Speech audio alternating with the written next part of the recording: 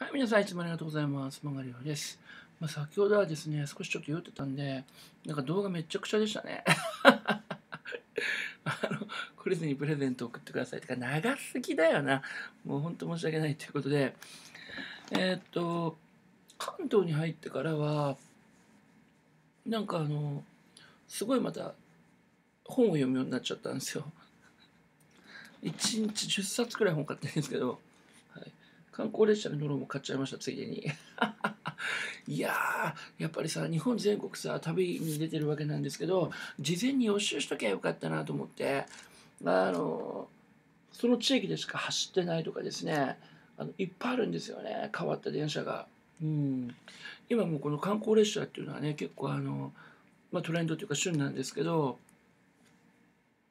であとはあの静岡に来たらですねなんか大道芸のこの本がコンどのコンビニでもすごい売ってるんですよね。10月の31、11月の123で大道芸ワールドカップ in 静岡2015ということでなんかえっとこれとこれが、まあ、セットなんですけどなんかね大道芸人がいっぱい来るんですかね。いいですね。なんかこここの時に静岡にいたかったですね。あ俺空いたのかな？スケジュールがちょっとわかんないですけど。はい。大道芸ということでね。あの今日、えーと高崎から来たじゃないですか。高崎から東京経由で静岡に入ったんですけどね。高崎のね駅のね一部っていうのを高崎は音楽の街だっていうその売りの売り出し方してて、えー、と使ってもらっていいですよみたいな風な案内があってね。これはまたどっか Facebook に上げておきますけどてかもうすぐ上げるものがいっぱいになっちゃって上げれないみたいな。なんか毎日毎日さあまり古いのあげるのもどうかなと思ってるんですけど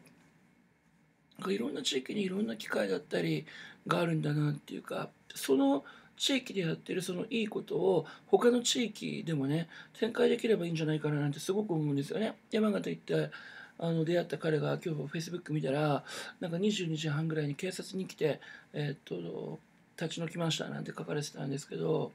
僕はねそのもっともっとその駅っていうのはそのこの大道芸人じゃないんですけどいろんなね人たちがあの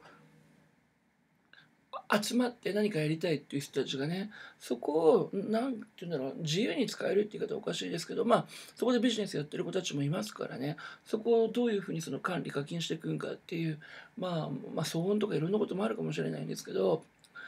やっぱり駅が活気があって賑やかだっていうかやっぱ人が集まりますから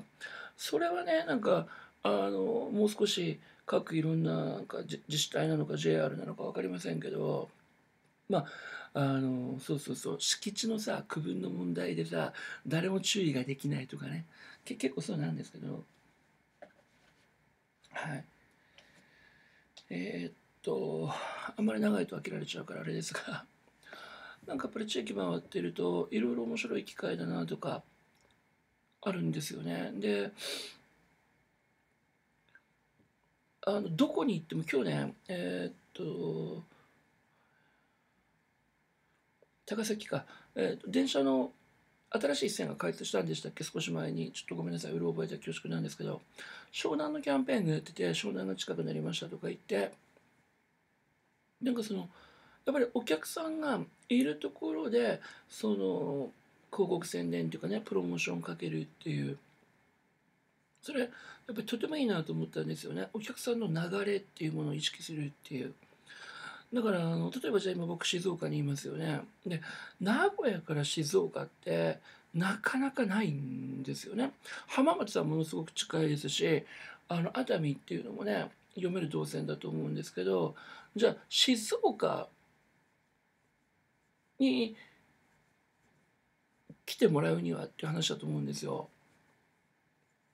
じゃあ何かあるのかっていうね。逆にじゃあ東京から何かあるのかっていう。もちろんその新幹線があのこだまだったりね光の一部しか止まらなかったりっていうのはあるんですけど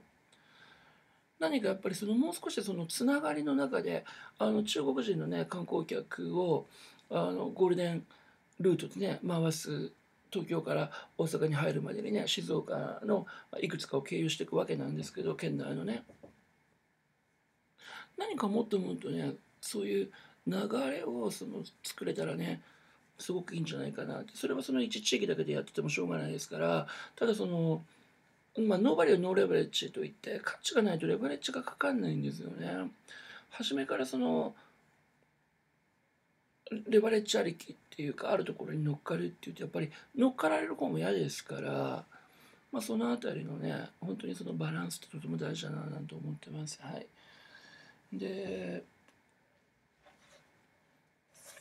ちょっと一冊だけ紹介しましょうか。はいはい。うまい話あります。はい。あのー地域にそこの地域に行くと必ずその比較的ね割とそのえお大きな本屋さんに行くようにしてるんですね。であのやっぱり本屋さん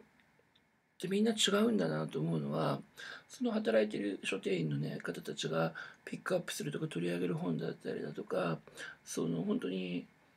まあ、フェアっていうかね見せ方だったりで全然そのプレゼンテーションの仕方で違ってくるわけですよね。世の中全ての本を決まったその敷地の中に置けないですから。で、アマゾンってすごい便利なんですけど、見えないですよね。検索だったり、レコメンドで分かる程度で目的化になっちゃったり、まあ、レコメンドでね、たまに関連本で、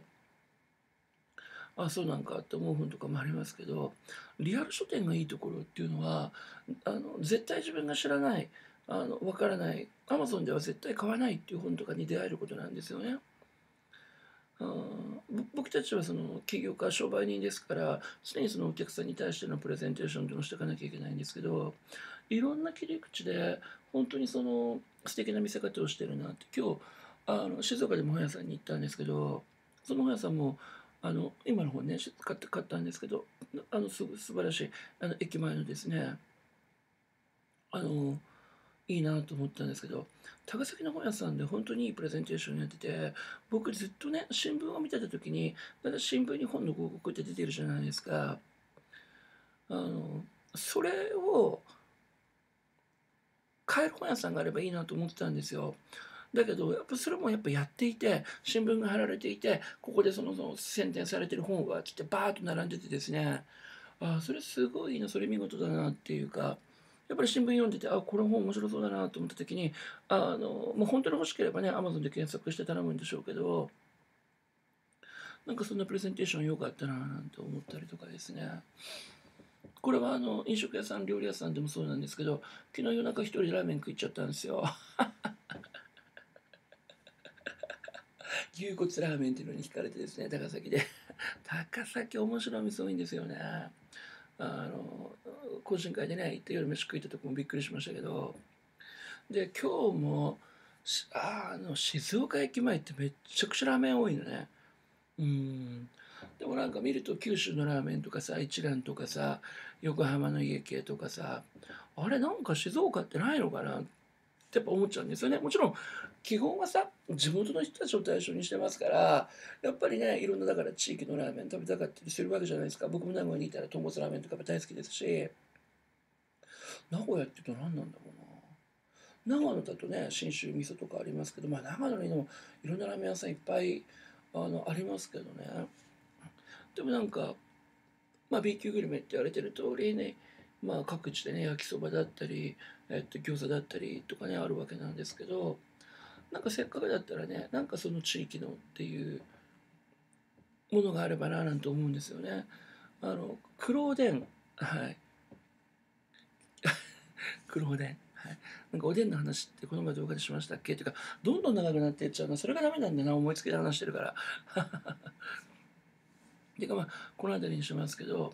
あの日常でやっぱりビジネスの機会っていうのは本当にいっぱいあるんだなってやっぱ思うんですよね。たとえそれが毎日同じところにずっといたとしてもあのお店の顔も変わってますし貼られてるねその広告だったりそういったものも変わりますしひょっとしたらお店も入れ替わってるかもしれないですし。だからもっともっとその日常でグッドニューだったりバッドオールドをね探していくストックしていくっていうことをねぜひ皆さんにもやってほしいなと思っています。はい。それでは、えっと、いつもありがとうございます。明日からは東京で、まあ、2日間ですね、2days 起業家、えー、支援集中合宿がありますけど、はい。また、それでは、いつもありがとうございます。